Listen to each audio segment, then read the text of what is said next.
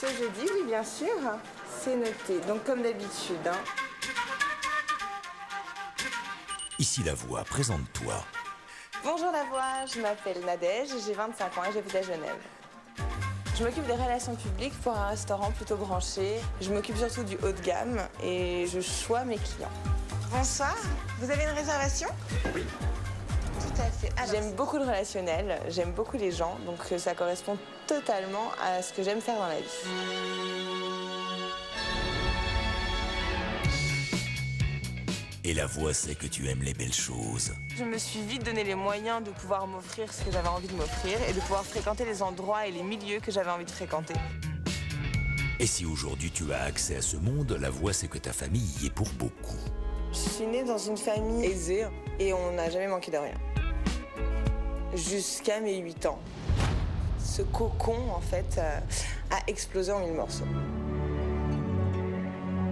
Ce qui s'est passé, c'est que ma maman a eu un deuxième mari avec qui je m'entendais pas du tout. Et elle a préféré euh, vivre avec lui en me laissant de côté.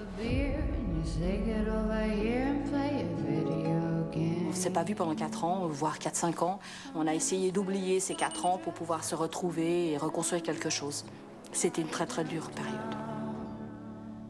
Le fait qu'on ne m'ait pas aidé me donne la force aujourd'hui de me battre pour euh, atteindre mes objectifs. À vue d'œil, tu es une femme déterminée.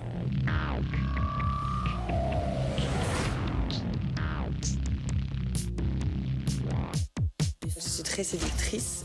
C'est moi qui décide qui, quand, comment. J'ai besoin de gérer mes relations avec les hommes parce que j'ai pas envie d'avoir de mauvaises surprises. J'ai été très blessée par une relation de très longue durée. Aujourd'hui, j'aimerais tomber amoureuse. J'imagine un homme brun, ténébreux, grand, avec un sourire renversant.